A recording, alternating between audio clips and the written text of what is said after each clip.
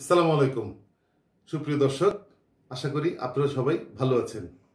আমরা প্রতিদিনই চেষ্টা করি আপনাদেরকে পানি বিশুদ্ধকরণ সম্পর্কিত দুই একটা ইনফরমেশন অথবা অন্তত কোনো না কোনো একটা বিষয়ে জানানোর জন্য সাইন্টিফিক্যালি দর্শক, পানি বিশুদ্ধকরণের ক্ষেত্রে এ বিষয়ে যারা রেগুলেটরি কমিটি আছে অথবা এ বিষয়ে যারা এক্সপার্ট আছে, তারা পানি বিশুদ্ধকরণের জন্য দুইটি পদ্ধতিকে সর্বাধুনিক পদ্ধতি হিসেবে বিবেচনা করে থাকেন এবং রিকমেন্ড করেন।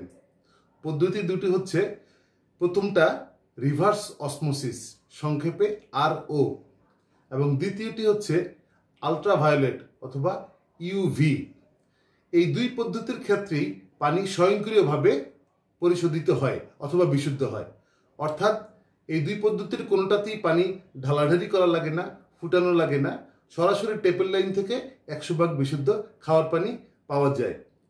যাই হোক দর্শক, এই দুই পদ্ধতিরই ডিটেলস নিয়ে অন্য একদিন আপনাদের সাথে আবার বিস্তারিত কথা বলব।